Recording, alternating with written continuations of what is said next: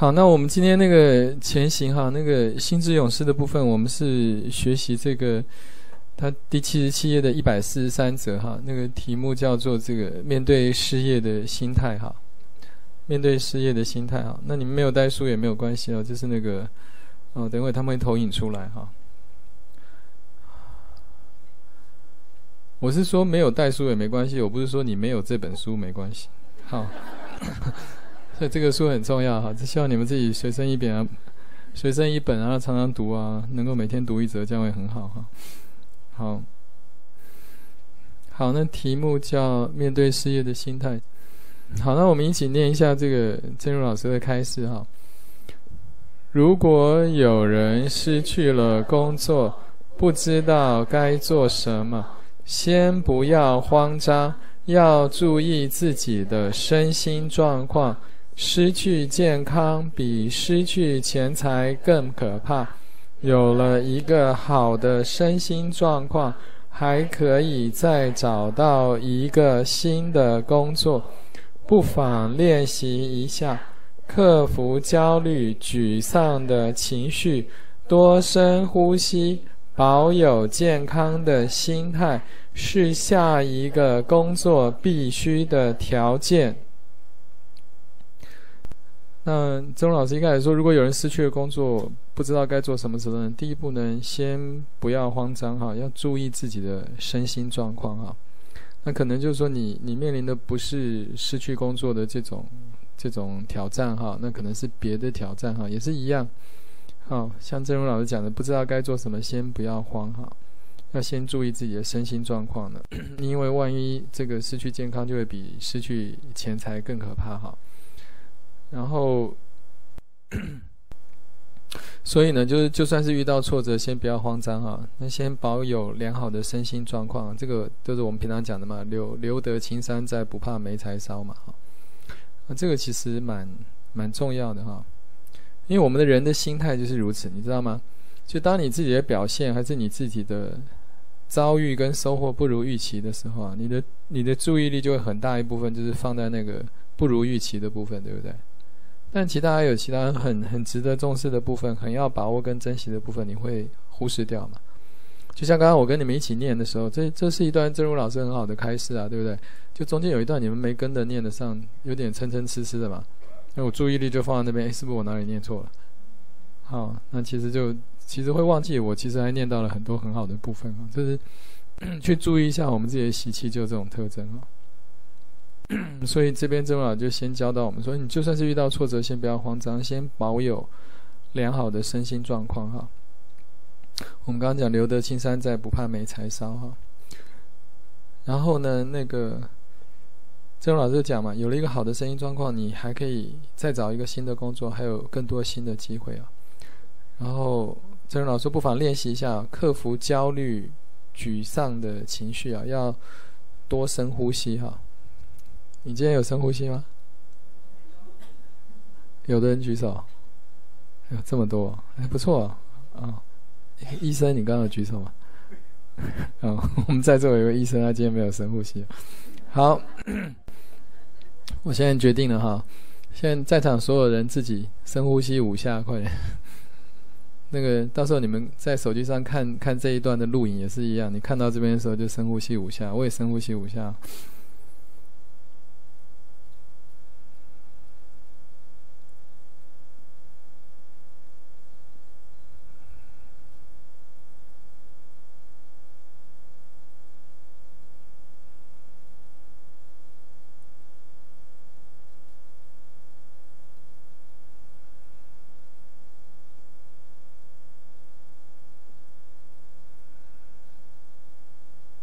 好，好，我我我有了怕将来有人看这段录影，中间一半看进来就看我一直不讲话，不知道要干什么。我现在解释一下啊，刚才我叫我在制作叫他做深呼吸好，因为其实呢，事实上我看过真如老师，他很多次跟出家人在家人见面的时候，常常提醒大家这一点。啊，特别是有人碰到一些这个比较特别的挑战的时候啊，可能哦，比如说，啊，出家人他有五大轮的大考啊，有背书大考啊，啊，年纪比较轻的会压力很大，类似这类似这种哈，其实其实真如老师都会常常提醒大家要深呼吸哈，深呼吸是一个要常常提醒的事情啊，自己不要忘记哈。所以刚刚就特别叫你们现场练一下哈。好，那保有健康的心态是下一个工作的必须条件哈。其实我记得师傅当初这个呃有跟我讲过一段话，我始终印象很深哈。其实这个讲起来现在有点不好意思，不过我当时就是如此啊，就是那个时候发现这个哎跟我一起出家的法师好像都蛮飞黄腾达的哈。有的人这个跟上座法师出去弘法立生啊，有的人帮师傅开车啊，哈。那我好像就一直待在寺院里边哈。那主要的工作都是在做那个资源回收跟垃圾分类哈。所以我那时候就其实心里是有点焦急啊。后来有一次跟师傅见面的时候，师傅就跟我说：“哎，你你相不相信与人越多而己越得哈？就是你相不相信你给别人越多，你相不相信你给别人越多，让自己会得到更多哈？”那我跟师傅说，我相信。那师傅说好，那你就没什么问题了哈。那这句话就一直放在我心里哈。就与师傅讲的哈，这个与人越多而己越得哈，实际上是是这样的一个特征哈。所以就算是你失去了工作，就像真如老师讲的哈，就是先不要慌张，先注意自己的身心状况。然后呢，你发现如果你自己还有能力造善业的时候，尽量多造善业。好，善业造下去就是福。好，那将来就可以累积越来越多的后福，啊，这个蛮重要的。所以呢，我记得我以前很喜欢一个王大善人的公案哈，就是王大善人他当初小时候他出来，因为家里很贫穷嘛，他出来做工哈，那奉养他的这个父母亲的时候呢，那那他很认真，他年轻的时候他很认真哈，到人家家里帮那些这个。大地主的农场做工啊，他都很认真的做，做得非常卖力哈。然后种出来的那个农作物收成都很好，长得很漂亮这样。那当时呢，他们一起做工的有一位工头嘛，就是带他们做工的的头哈，工头。那个工头是比较偷懒一点哈，那比较游手好闲这样，又喜欢赌钱这样。他就常常笑那个年轻的那个王大善人哈，就是王凤仪居士啊。那时候叫他的这个小名嘛，因为他排行老二，就说：“哎，王老二，你这个人真傻哈！我们的东家，我们的老板就给我们那么一点点工钱哈，你每天做那么拼命，种出来那么多那农作物，种那么多干嘛呢哈？那你自己又得不到这样。啊，但是那个时候那个王大善人啊，王凤仪居士就跟那个工头讲说：我我也知道给的工钱不多，可是你看。”老天爷给的这个土地就这么肥沃，雨水就这么充分，种子就这么好。我觉得我这样好好做，我不只是说不要让我的这个老板东家亏本，我觉得我还不要让老天爷亏本，因为老天爷就给了那么好的雨水啊、土地啊、种子啊，那我不把它好好的种，种很多农作物出来，我觉得我也怕老天爷亏本这样。那后来那个工头看他跟这个王大善人讲，王大善人也。也没有改嘛，哈，那工头就不管他了。结果隔了很多年之后，那个时候王大善人已经变成这个万国道德总会的副会长，哈，这个在在大陆的北方啊、东北方啊，哈，那带领了几十万个人，哈，都是这个很认真的投入这个这个善行的这个运动，哈。那那那个时候他就变得很有名嘛。那有一次他去黑龙江省会黑龙江市的那个。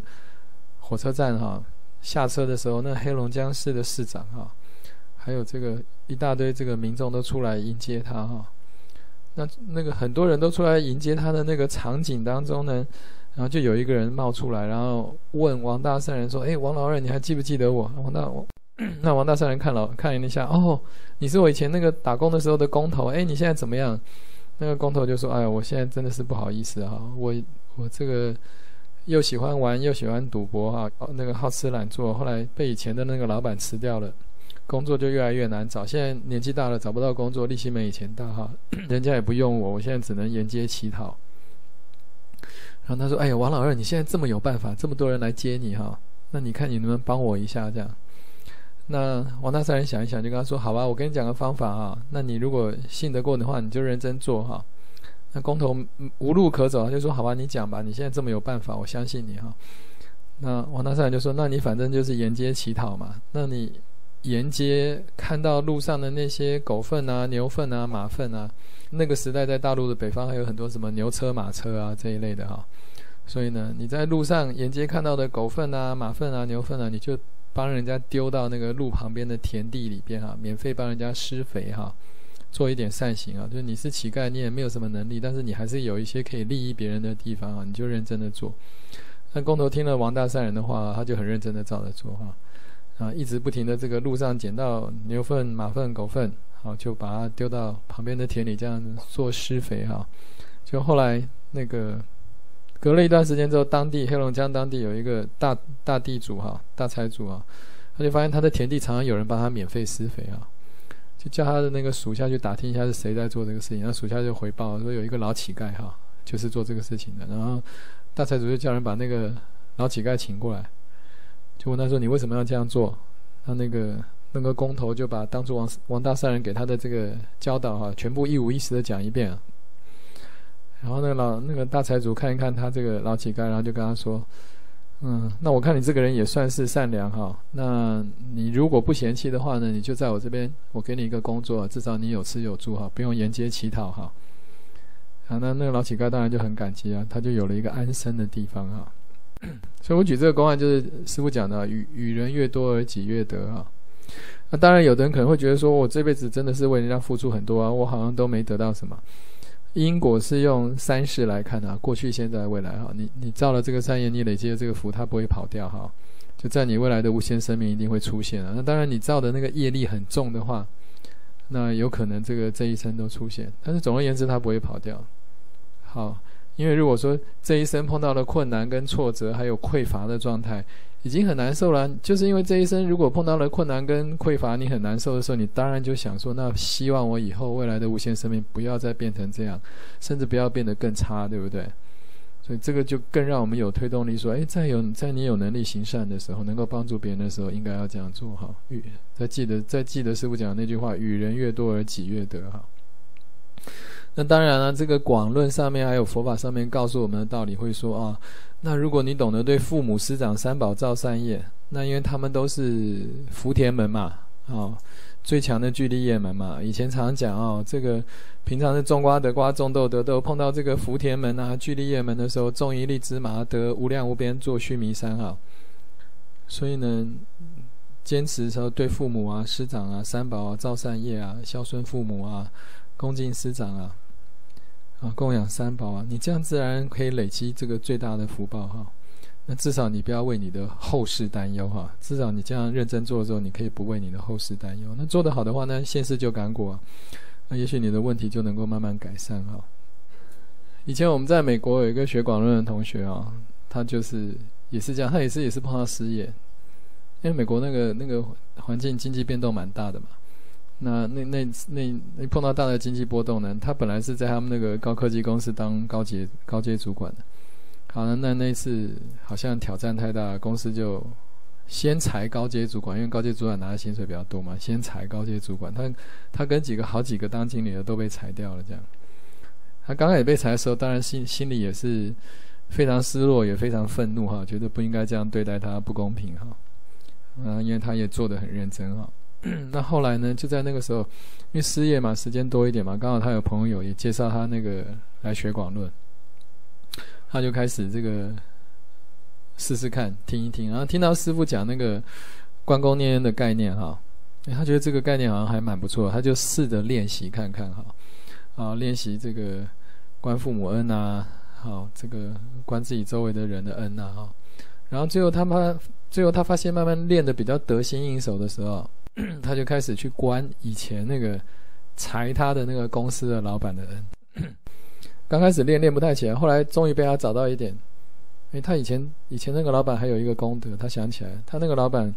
其实是蛮守信用的人，在商场上蛮守信用的人。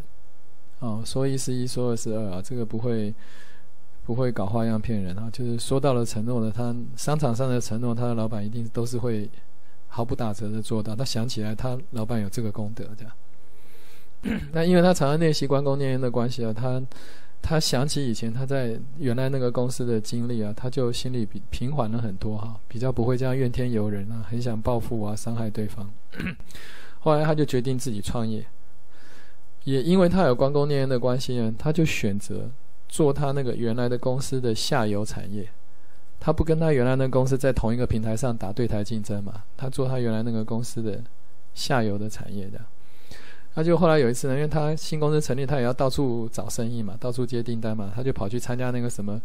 什么电子展啊、资讯展啊。后来有一次，在一个好像是北加州一个蛮大的一个电子展的展览场吧，那他摊位上午忙完了之后，中午吃饭时间，他吃完饭他出来散步，到处看一看啊。哎，结果。远远的走来一个人，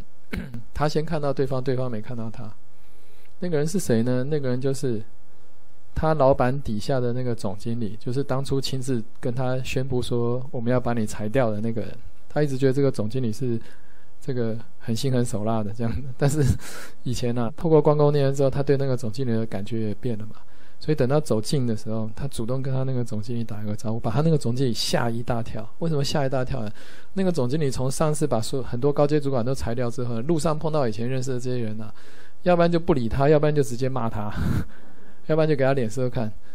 那我们这个同学是第一个主动很和善的跟他打招呼，所以把他那个总经理完全吓到，出乎他意料之外的。